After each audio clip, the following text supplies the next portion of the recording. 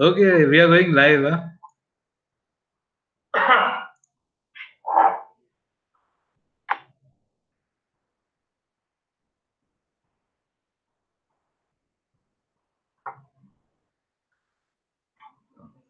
Good evening, everybody, and uh, welcome to this uh, 19th webinar of Ortho TV. And we have with us today Dr. Sandeep Patwardhan and Dr. Taral Nagda. Uh, Dr. Patwardhan will be presenting his talk on pediatric uh, distal radius fractures, concepts, controversies, and consensus. And we welcome you, sir. I welcome both of you. Good evening, good evening, Ashok. So it's always fun and a great pleasure to do a combined uh, webinar uh, with Tarun. And uh, we will be doing our international fractures in children symposium on 15th August at Trauma, as well as at Ganga Hospital. So as a prelude to that, I thought that we would talk about the common fractures that we see in children. so what I am going to talk to you about is pediatric lower radius fractures some concepts, some controversies, and some consensus. Now, very often you will see a child coming to you in your clinic with uh, this kind of injury, and uh, this is commonly treated in plaster or by closed reduction. But very often we see that at three weeks, this is the situation. It's uh, displaced and malunited. The second pattern that you see is where you have a childhood fracture, a lower fourth or a distal radius with ulna, which is grossly displaced. And then again, you do a good reduction under anesthesia. Looks pretty good on day one. See, the alignment is uh, quite acceptable on both AP and lateral. But at two weeks, what happens is that it's gone back to where it started right? So why does this happen? And this causes a lot of heartburn as well as anxiety to parents and problems to the concerned surgeon. The third pattern of lower end is something like this, where you see an innocuous looking fracture and you give a plaster and send the child off thinking that this is an undisplaced fracture. This is going to heal and no problem. But what happens at three weeks is it comes with a bad amputation, something like this right? And the parents again are distressed. So these are the various patterns that you see. Now to prevent this, a lot of people end up doing needless surgery. Now look at this injury. The surgery really the answer.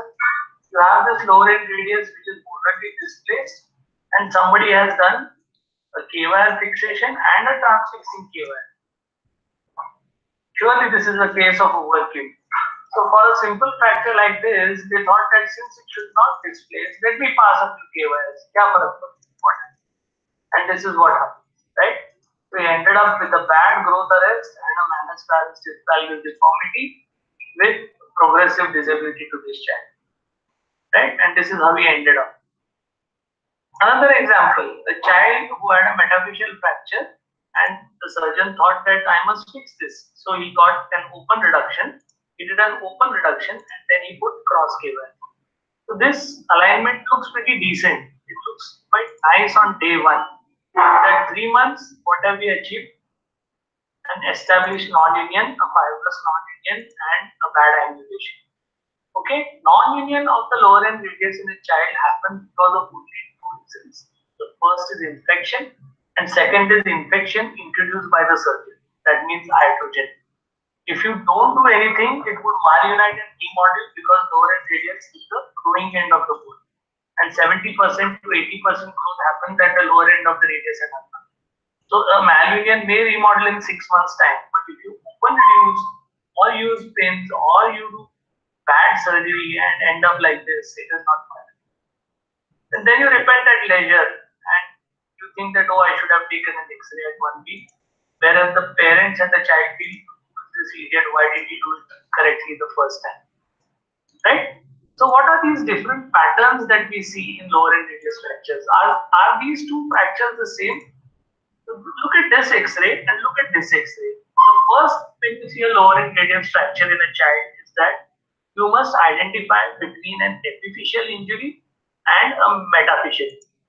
So distal physeal injury accounts for about 14% of all lower extremity fractures in children, whereas distal metaphyseal fractures are about 66%. They are different, they behave differently, and I'll come to that. So the correct diagnosis should be made. Is it a physeal fracture without without ulna, or is it a distal metaphyseal fracture? Which can be three types: a torus, a buckling fracture, a green stick fracture, or a complete fracture. So let's look at the physeal injuries. If you look at the physeal injuries, the displacement is commonly Salter Harris type 2 injury with a dorsal displacement. Right? The direction of displacement type A common is dorsal, sometimes it's volar. And the physeal pattern is always 90% of the times type 2. Peterson type can be classified and ulna can be a transphyseal or intraepiphyseal style. Now an example here. This child with the dorsally displaced Salter Harris type 2 this was given a plaster and this loss of reduction was failed to recognize by the surgeon. So what happened was it was picked up quite late and three weeks later the child came with this kind of a displacement. Now the question is are we going to operate on this child for a physeal injury? So if you see initially there is a restriction of volar flexion with a dorsal bump but the dorsiflexion is good because the displacement is dorsal. Now question is always should you correct this or should you not correct this or look at this at three months down the line. Look at the fantastic remodeling. So the dorsal bump has gone away. There is excellent volar remodeling and the hand comes back to normal with a full function in about three to six months. So the message here is that physeal injuries heal very fast and you should not try to reduce a displacement after one week five days to one week is the upper limit. After that, if you have a malposition, it is better to accept it and let it remodel, which is going to happen eventually.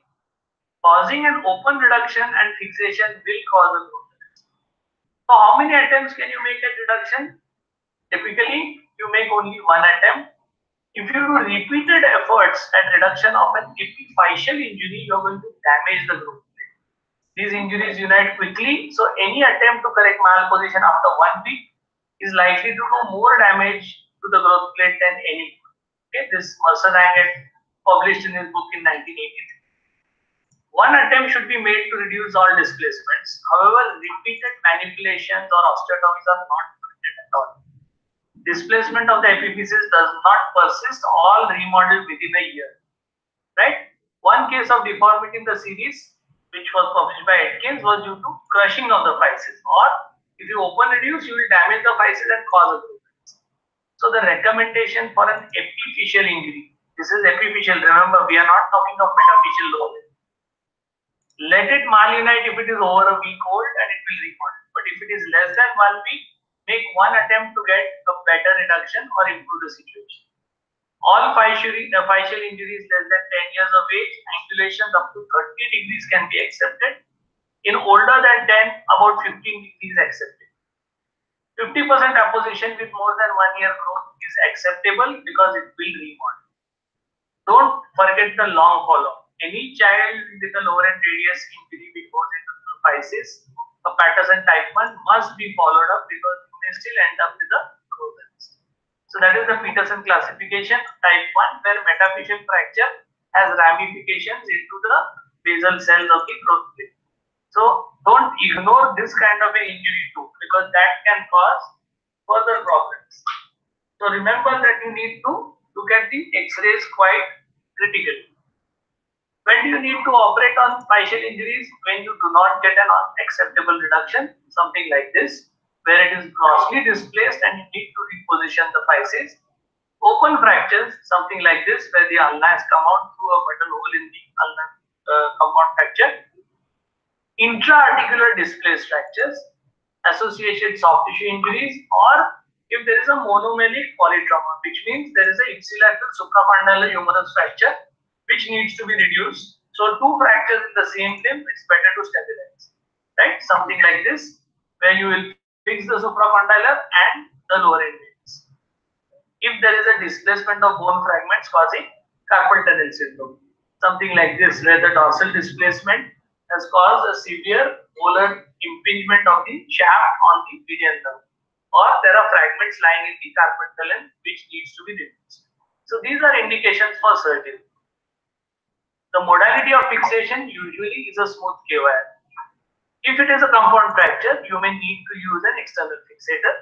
For example, you can see this epimetaphyseal injury, crushed comminuted compound has been treated by percutaneous uh, debridement. You put a K-wire here and stabilize everything with a mini external fixator to reconstruct the lower end of the radius and ulna, which goes on to nice Right? Now the question arises, when you pass a K-wire, should you cross the physis or try to avoid the physis? Here is an example where the lower end of the radius physeal injury has been treated with a K-wire going across and two years later, unfortunately, you find there is a growth arrest. Okay, now look at the X-ray very critically. If you see here, the wire is passing at the one-third to two-third junction and the growth arrest is in the center. So this is probably related to the injury or the manipulation during reduction rather than the K-wire per se. Because studies done later to find out whether pins really cause growth arrest have not been conclusive. The evidence is unclear between 1965 to 1975, Muller fit all lower radius physeal injuries and did not report a single growth There was a prospective study done in Boston Children's Hospital about the effect of pinning across the physis for stabilization. And they did MRIs to find out. So what happened is that they passed the K-wire across the physis, 11 patients, and they followed them at 3 and 6 weeks with MRI. They did not find any evidence of growth arrest but they did not consider threaded pins, duration of pin placement, or how many attempts were made at this. So what really causes growth arrest? Is it the pin or is it the surgeon again? So if you are going to use very large diameter pins, you are likely to cause growth arrest. If you use multiple pins, you are likely to cause growth arrest.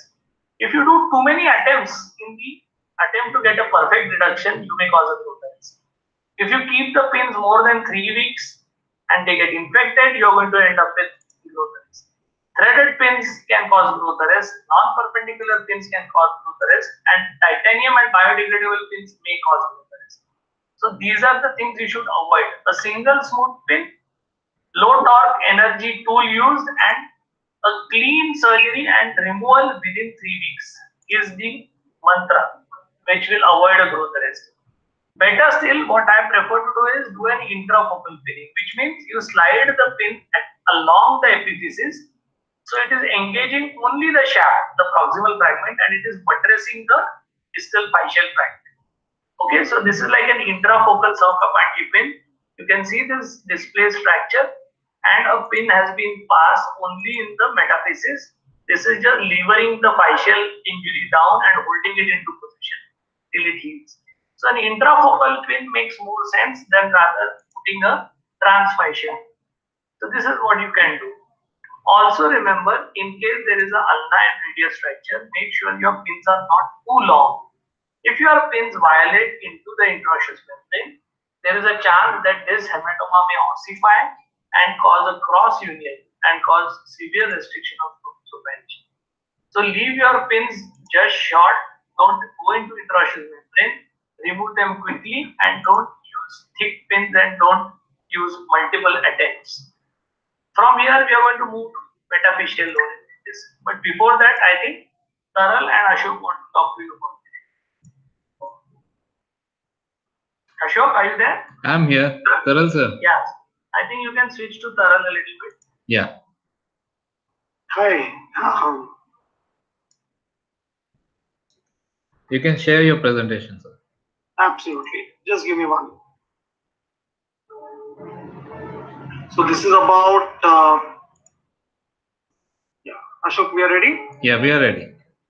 Okay, so this is a very special uh, invitation to the 25th uh, Silver Jubilee meeting of Pediatric Orthopedic Society of India, which is happening in Mumbai from 3rd 6th January. We have more than 85, now almost 32 international faculty from different parts of the world, most of them from North America.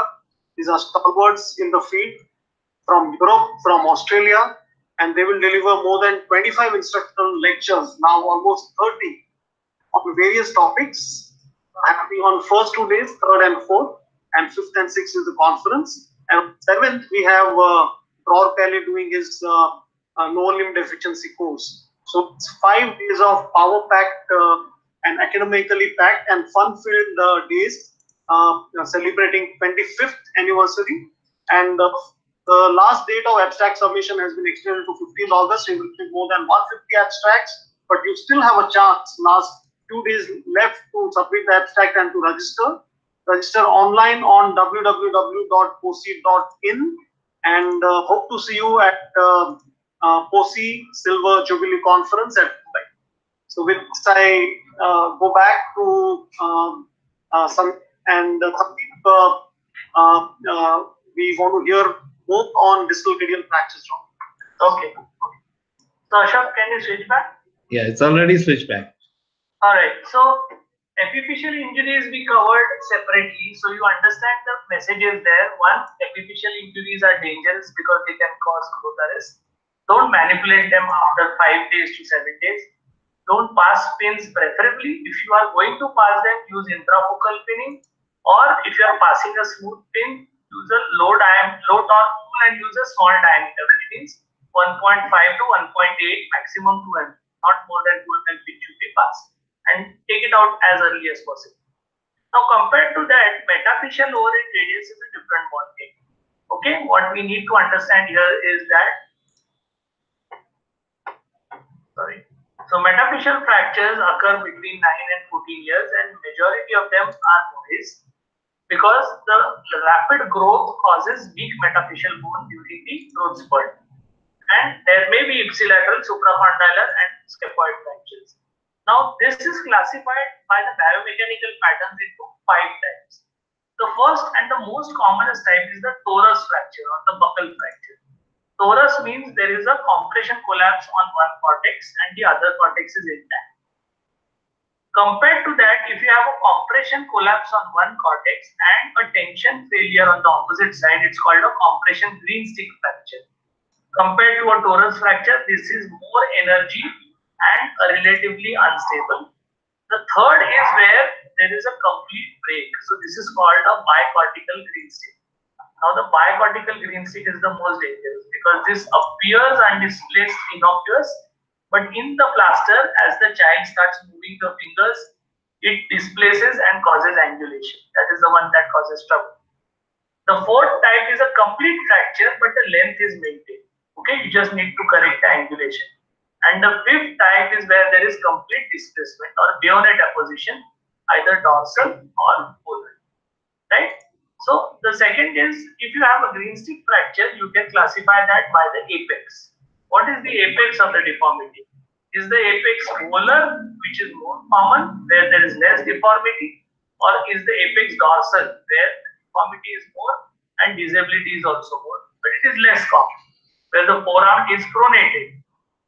Now the management depends on the biomechanical type of these five varieties and the direction of displacement. Both these factors should be considered. So torus fractures, as I said, is a single cortex buckling which is stable. These can be just splinted. You can give a slab or a wrist brace and they'll be all right in two weeks. And it doesn't matter whether it is dorsal uh, torus or a volar torus. But the important thing is differentiate between an incomplete state. Don't miss these fractures or this fracture which is likely to displace. Right? So these green stick fractures will need reduction. So questions asked for green stick fractures are, what about the angulation? Should we complete the fracture? Opposite cortex should be broken. What is the position of immobilization and what is the recurrent deformity that happens? So looking at the angulation, if it is more than 25 degrees, you must correct the angulation. You can't accept an angulation of this variety. Regarding completing the fracture, the literature is evenly divided. People say so many papers since 1980 say that recurrence is more if you don't break the opposite cortex, right? They feel callus is more strong if the opposite cortex is broken.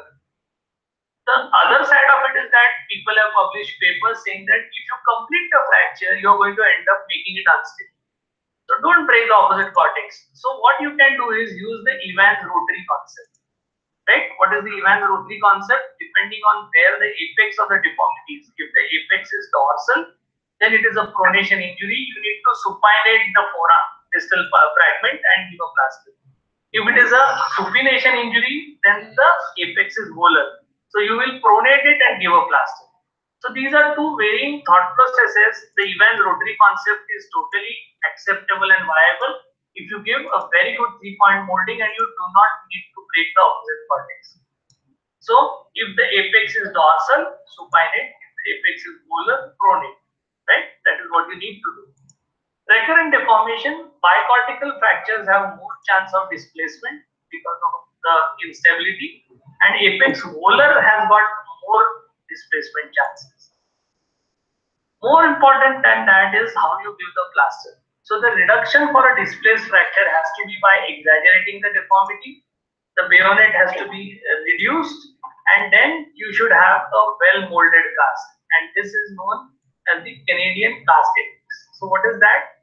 It simply means that your cast should not be a round cast. It has to be a oval cast at the level of the fracture, if you take the transverse diameter and divide it by the AP diameter, it has to be 0.7 or less, which means the interosseous spread is good and your cast has to be wider than uh, in transverse diameter than in anteroposterior diameter. So an oval cast makes sure that the bone is straight. If it's a round cast, probably it will displace. Make sure the cast index is good. When do you need surgery? If there is severe soft tissue swelling, you may need to pin like this. If there is a need for remanipulation, if there is a displacement and you are remanipulating, which is by the way completely allowed because this is metaphyseal, right? Even after a week, you may remanipulate, you can make small drill holes on the dorsal side and uh, do osteoclasis and then reduce it. But when you do that, make sure you pass a cleaver. Okay? And then ipsilateral fractures again supracondylar with lower radius, you will obviously pin it. Unstable fractures like these, you may need to pin. Make sure you don't cross the physes. Irreducible fractures and open fractures require surgery. What about a late slip? Sometimes a patient comes to you with a deformity like this. You will obviously do osteoclasis and fix it with pins, or you can use a dorsal fixator and stretch it out or you can use flexible rods and stabilize it. There are various ways. But do you always need to open these fractures? You can always do a percutaneous reduction, which is called the leverage technique. And I'll just highlight that. Now, if you have a bayonet reduction which you feel is not acceptable and it is about 8 or 10 days old, what you can do is make a small percutaneous incision here. And with that incision, you can insert a periosteum elevator just peel off the dorsal callus and engage the proximal fragment and lever the distal fragment out. Because of 8-10 days duration, there will be soft callus and soft tissue contracture which can be negated by this leverage technique. So after you get that leverage done and reduction, then you fix it with cross pins and give a cast.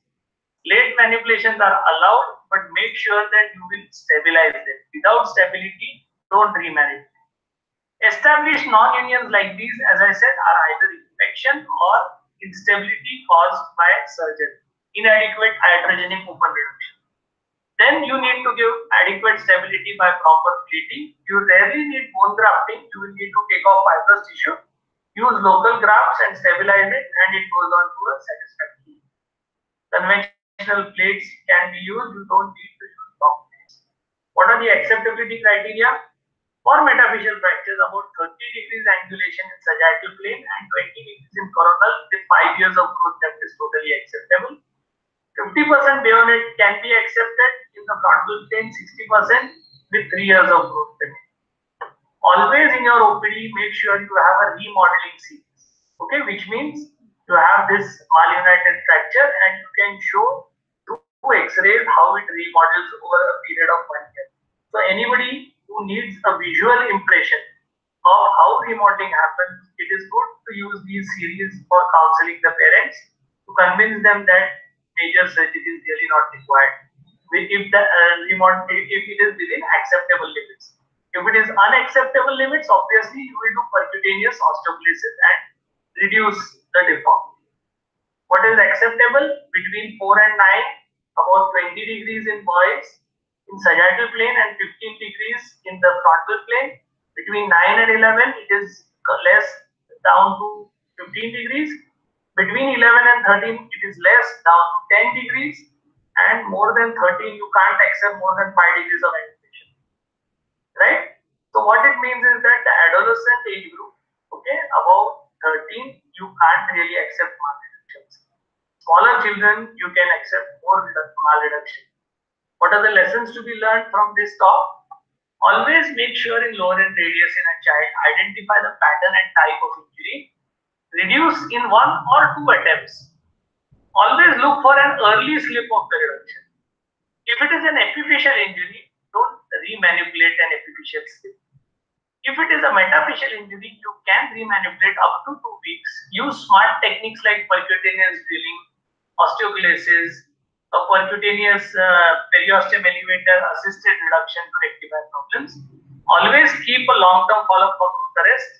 And if it is an established non-union, you must go for a stable fixation. If you are going to use pins, avoid physis, avoid long pins, avoid multiple attempts, use very thin diameter pins and use low torque tools. Thank you very much for your attention.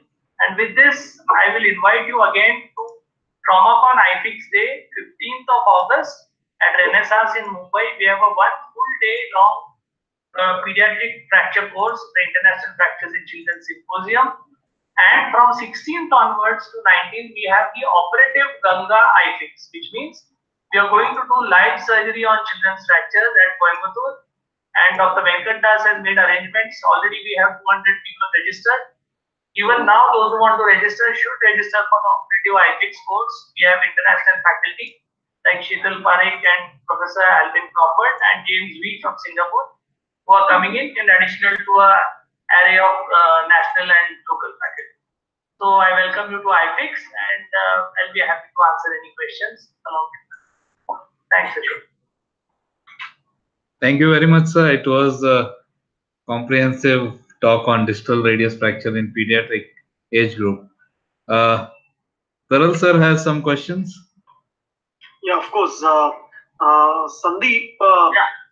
Distal radial is uh, is one of the most common fractures in children. Thanks. More common than uh, supracondylar fracture. And um, recently we had a patient uh, where a, a fracture which at two weeks, you know, which would- which could have been easily uh, comes out and would have uh, rebonded. Yeah. To open reduction and pin and then ended up with growth arrest. Right. uh, you know, what recommendation you have given uh, Yes. Long way. Sandeep, I was coming across a paper. Uh, Paper is uh, from Hawaii in USA. Uh, Okay. Can you share that paper, Ashok? Uh, can you, if I share screen, uh, uh, I can show that paper for the audience. So if you can in the settings Yeah, it is online. online. Yeah. So I I hope people can see this paper, and this is from 2012 and published in JBJS. This is from Hawaii. Uh, and uh, what they did is uh, distal radial fractures with marked displacement and angulation. Uh, with yeah, they they just aligned it. You know, they re- reduced it but aligned. And I'll show you one of the patients in their series, like Mm. this completely displaced Mm. just you know aligned it without attempting to reduce the fracture. Yeah. Uh, uh, ultimately, it remodeled very I, well. I, I've, I've gone through that paper. They call it sham reduction. Right, right, right. Yeah, not Ashok Sham. Ashok Sham. right. So, what's your view on this, uh, Sandeep? Uh, uh, we we If, reduce. if, if you if you analyze if you if you analyze our traditional bone setters, right. right? They have mastered why they are so popular is that one, they don't charge too much money.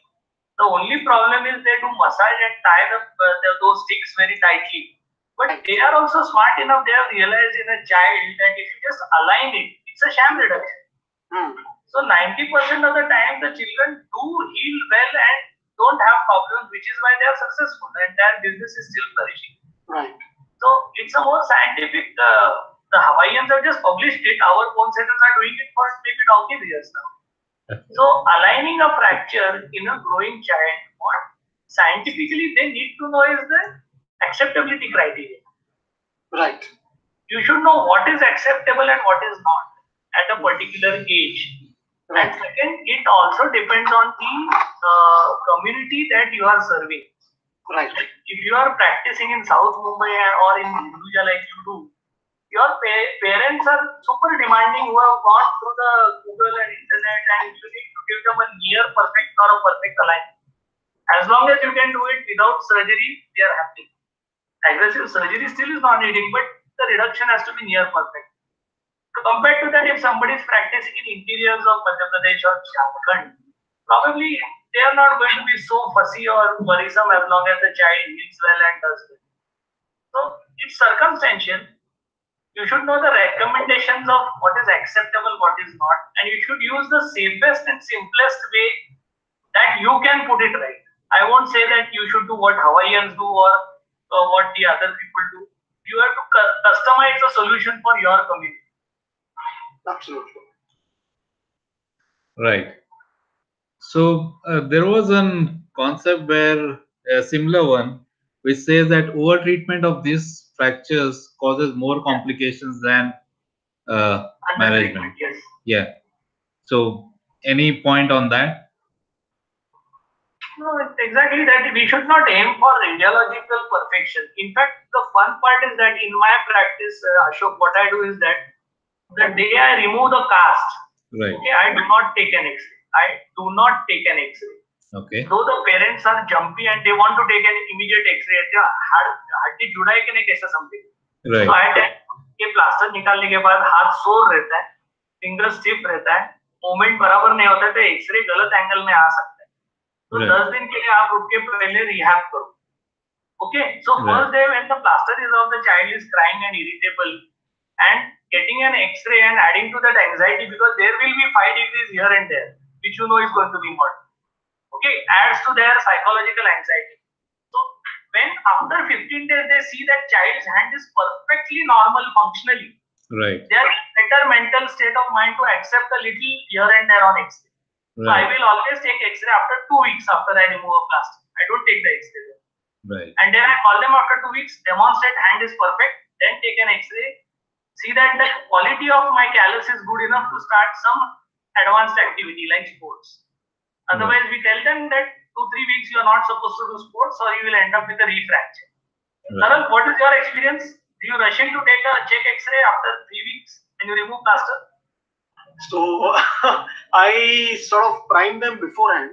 Uh, I have an X-ray. Uh, at, at, I take X-ray at one week and as well as now one week we must take to look for displacement but even at that removal, I, do you immediately take if I don't take an X-ray, someone else will. So it's better that I take an So- so probably that is because you are in bombay yeah, that's okay. Uh, one one frac one uh, you know point uh, some to discuss. Ashok, there, are there any other questions from delegates? Otherwise, I can ask a question. Uh, no, I think they are all mesmerized by the talk and they can't think much of any questions. No, no problem. But so one. I don't think there is anybody listening to 670 of us. there are many, uh, more than 500.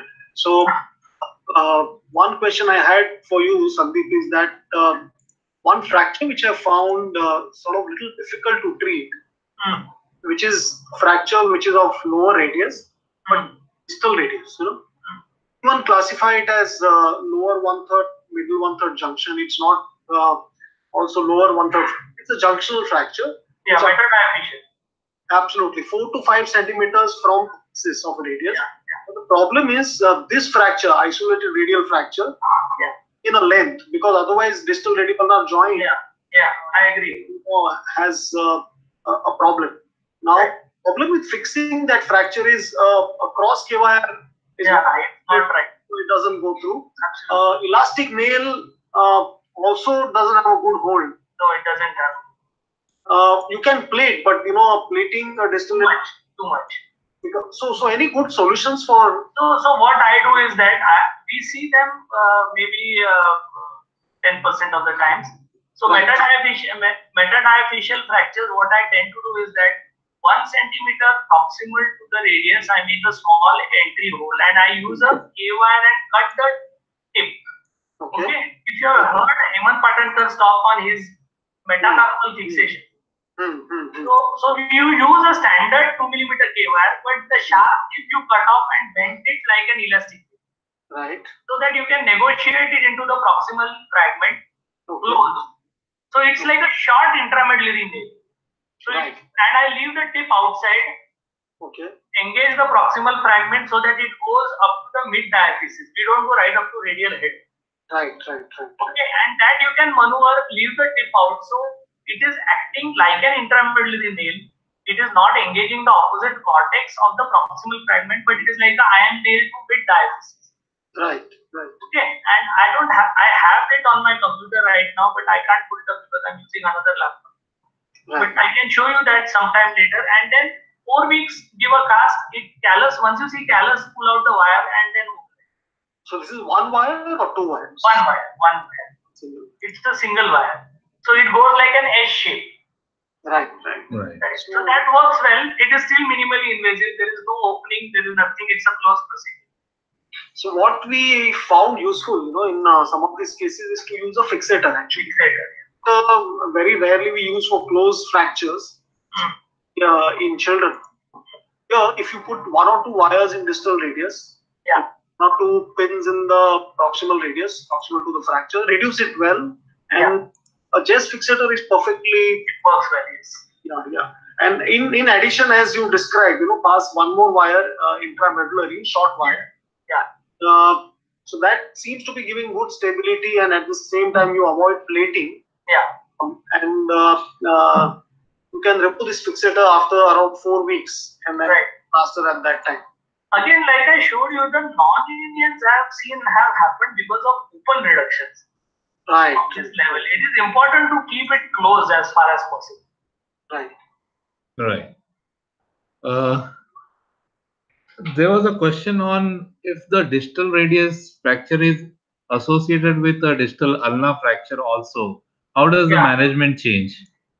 So the radius, length, and curvature is the key. The ulna, if it is metaphyseal, doesn't matter. It remodels very well. There's no problem. Okay. I would not concentrate on reducing the ulna. Right. Absolutely. So, so don't treat ulna. It, you know, it, it, it remodels very well because it's very difficult to fix an ulna. And Yeah. we had a patient where, you know, a, a, a child had both bone fracture, radius and ulna, and the treating surgeon did a perfect uh, two radial nails, you know, one from radial side, one going from dorsal side, avoiding the physis. But for the ulna, he had to pass the pin through the physis, and this patient healed well but had Growth arrest. ulnar growth arrest. Yeah. And ulna is the fastest growing physis in the body, and you get really bad results if you screw it up. Yeah, ulna is very sensitive, isn't it? Very sensitive. Going to radius, sometimes, you know, uh, not happen, but uh, ulna, distal ulna physis, if you pin, there are very Yeah. the growth arrest. So it's better to leave ulna alone, Yeah. not to do anything. So there is another question on what are the factors that predict redisplacement in distal radius fractures when we close reduce it? So factors determining redisplacement, one is the Canadian Cast Index. Now, Okay. the- too much of padding and a round cast is a uh, sure shot uh, recipe for uh, redisplacement. Second point is mistaking an unstable fracture for a stable fracture. A bicortical green stick is going to displace when the swelling goes down as the fingers start in the child. So bicortical green stick, you should be very, very careful and aware of. At one week, you must take a check X-ray and remanipulate it. Right. So a bad cast and a double gre- uh, bicortical green stick is definitely a no or a high chance of So can I add to that? You know, if you're uh, if you're seeing the patient first time and looking at the X-ray, if there is too much swelling, uh, Yeah. which means there is a periosteal disruption. You know, it's a it's a sign that this may be an unstable fracture. Secondly, uh, uh, when when you if it's both bone fracture, radius as well as ulna, it tends to be more unstable uh, than only radial fracture. Uh, and third thing is uh, when you are reducing, if you if it's a dorsal displacement and when redu- when reducing it goes on the volar side and vice versa, you know that there is severe soft tissue injury. And these fractures also tend to displace in plaster.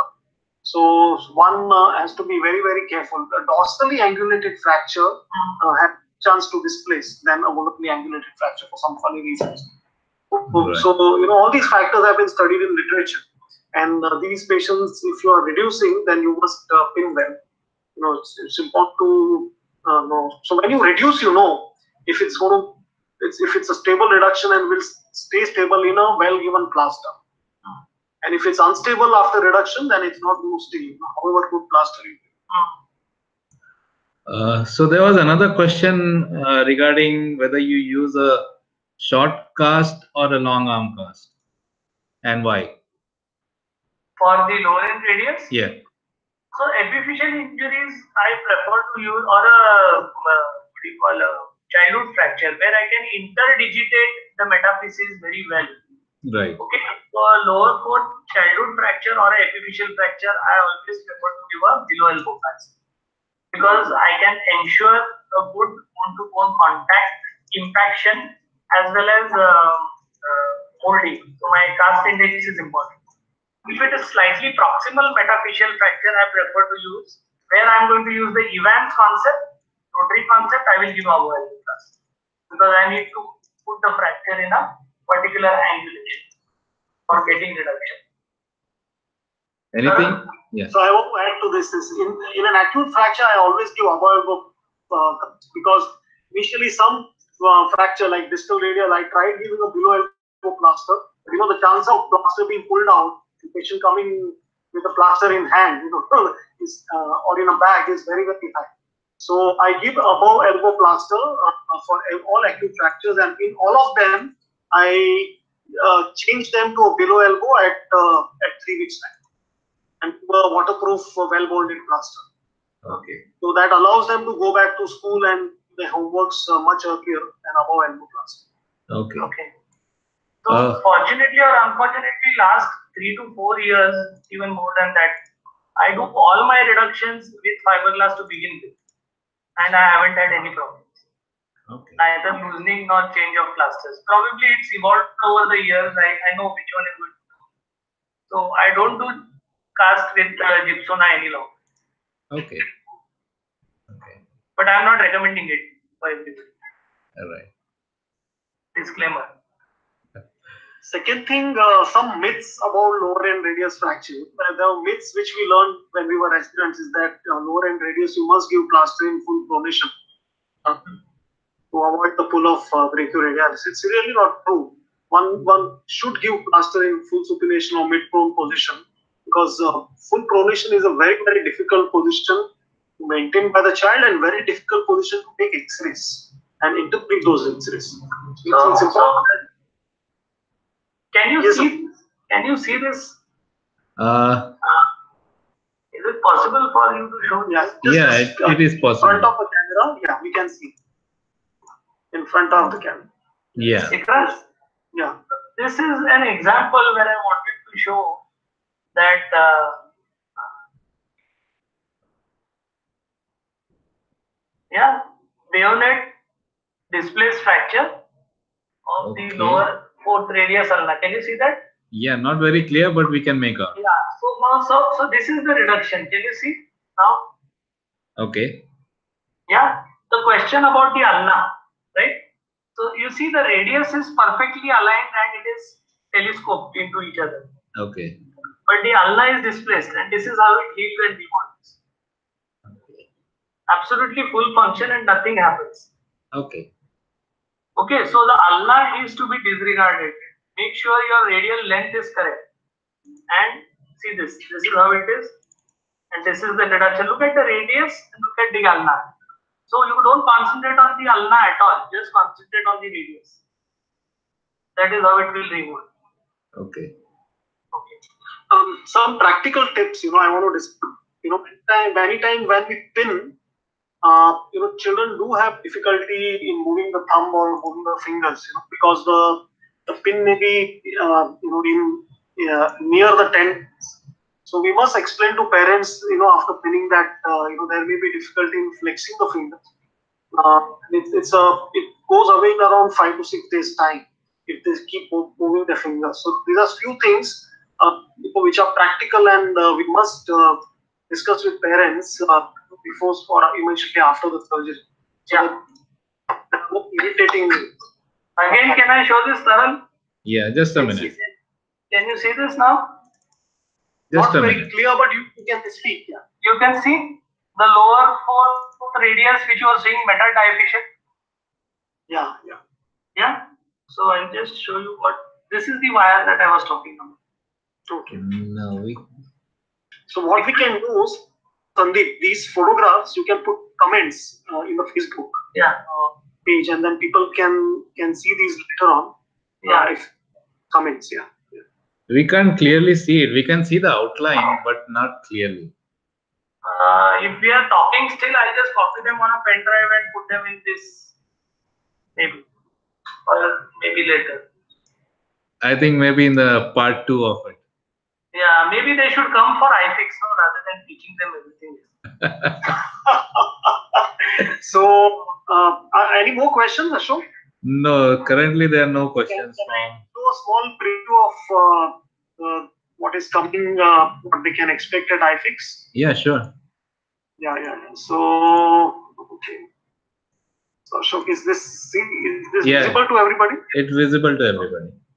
Okay, okay. So again, uh, you know, invitation for all of you uh, to come for TraumaCon.